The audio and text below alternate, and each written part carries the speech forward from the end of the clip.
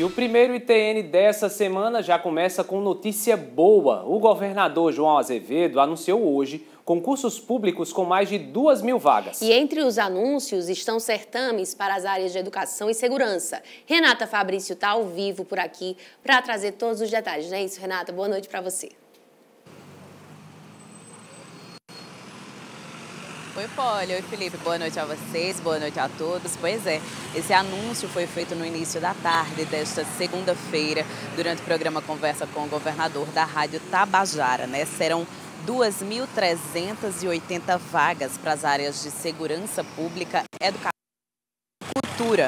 Segundo o governador do estado, a Secretaria de Administração já está autorizada a contratar bancas organizadoras para os certames, né, que vão efetivar aí mais de duas mil pessoas no governo do estado. A gente preparou artes para detalhar um pouquinho como serão planejadas, como foram planejadas essas vagas. Olha só, na educação serão mil vagas para professores, na Polícia Militar 900 vagas para soldados, no Corpo de Bombeiros 200 vagas também para soldados. Aí a gente tem os cargos técnicos, serão 185 vagas para engenheiro civil, engenheiro ambiental, de computação, agrônomos e arquitetos. E pela primeira vez terá concurso para técnicos em edificações. Serão 50 oportunidades. Na área de cultura serão abertas 33 vagas para gestão cultural, antropólogo, arqueólogo, arquivista, bibliotecário e historiador, além de 12 vagas para auditor de controle interno ligados aí à Controladoria Geral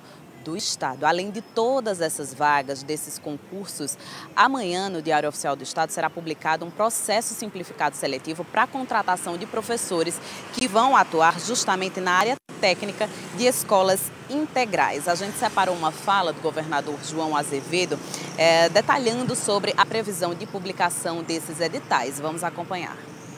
São coisas separadas. Amanhã estará sendo publicado o edital para o processo seletivo de formação do Banco de Reserva para professores da área da base técnica. Essa seleção simplificada. Essa, dessa seleção simplificada.